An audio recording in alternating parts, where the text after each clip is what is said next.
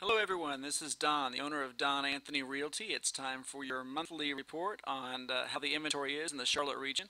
Uh, every month, right about this time, around the 10th of the month, I get the statistics from the multiple listing service to see how things looked for the prior month. So be October of this month is the report for today.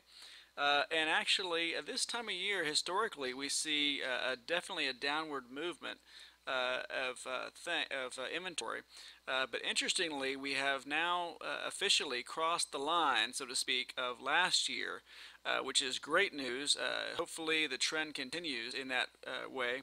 I think we're seeing a lot of that due to the first-time homebuyer tax credit that has uh, gone through. There's been a club effect uh, to some degree, uh, but in in, in, addition, we have the recent addition of the what I call the move-up buyer tax credit. Uh, before it was just for the first-time home buyers uh, for uh, $8,000, up to $8,000 of tax credit, and now we have the move-up credit of up to $6,500 uh, for people who have lived in a home for the last five, five of the last eight years. Uh, and so we should see some more movement uh, in the coming months uh, because of that as well. But it's great to see that we actually have a cross uh, pattern here uh, from the uh, downward trend, the high back in February of the 90-day rolling average, all the way down. we did see a little bit of a bump up, so I was afraid that we were going to start moving upward as in the past, but we actually saw the downward, so that's great news. Uh, great to see that line finally being crossed, and we're back into a little bit better situation. Um, if you look at this, this is by price range. Uh, you do see there were some uh, some price ranges. Again, this is the 90-day rolling average, so it's not the actual month. Uh, but you did see some price ranges go up and some go down.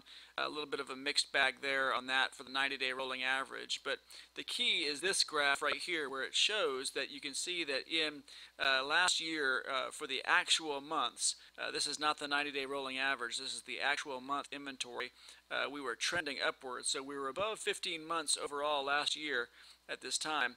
Uh, you can see the value of 15.45 months for 2008 of October, uh, whereas this year uh, we're much lower, down uh, to uh, a, a, much lower number, and you can see how it goes down. trend there. Now we're at 11.69 for October, so that's good to see that trend. Hopefully we go back and we're back. Hopefully we go back to the level of November of 2007 would be nice. We'll see that how that plays out next month. Uh, the number of closings also again uh, went up uh, in October uh, compared with last year. And you can see every other year the numbers went down. So it's interesting that we're going up in October. Hopefully this is another trend back to the higher levels uh, so that's good to see. The same is true with new listings. New listings for the um, month of October actually went up again compared with the previous years where it would go down each month. So again, a good trend. I think people are getting some confidence in the market, and we're seeing things uh, move in a positive direction.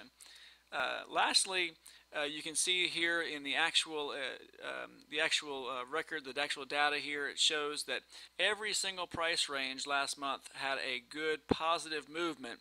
It shows as a negative, which means that there was the inventory went down. Uh, overall, like I said before, um, from September of 14.18 uh, of last month down to 11.69.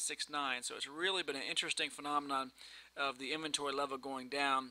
So uh, there's fewer homes for every buyer out there, uh, which is brings it back to a definitely a more normal level. So I'm looking forward to seeing how November plays out, and hopefully we end up with some good numbers. But I'm very pleased with how October played out, and I think that we'll see another positive trend in November, especially in the first-time home buyer situation where people are trying to uh, we're trying to take advantage of that tax credit before it was extended. Anyway, again, it's Don with Don Anthony Realty. Thank you for listening, and I look forward to um, you reading my blog or going to my website uh, at donanthonyrealty.com. If I could be of any assistance to you, please let know. Thanks a lot. Take care.